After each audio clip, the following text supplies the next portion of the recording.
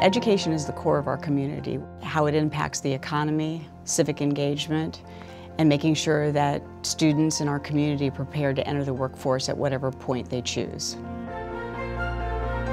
I don't think there's anything more important to the future of Pinellas County than our education system. And the Pinellas Education Foundation is the way that our community can support that system and show how important it is to the future of every child who's growing up here and of our greater community as a whole. Collaboration is the essence of who we are and how we impact our community. We bring together community leaders, business leaders, educational leaders, and educators to create solutions to improve education in our community. The foundation provides a myriad of support, but it's not just the grant and the money giving. It's the mentorship and making certain that students make it across the threshold. The students are able to get some of the soft skills that they may not get with their peers or at home, being able to present, listening, taking critiquing skills.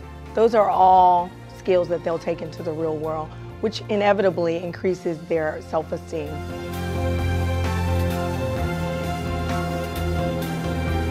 You take a kid that's totally checked out and having the support of the foundation transforms them and they have a renewed sense of purpose.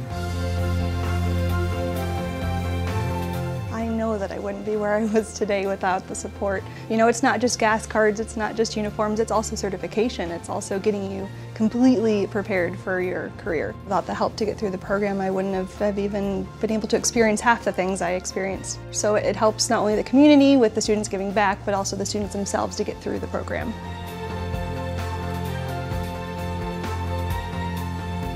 It is absolutely crucial that every kid who grows up in Pinellas County gets the opportunity to get a world-class education. Obviously, that's going to benefit the local business community too. We're going to have better workers who are even more connected to their community if we bring them up and raise them here.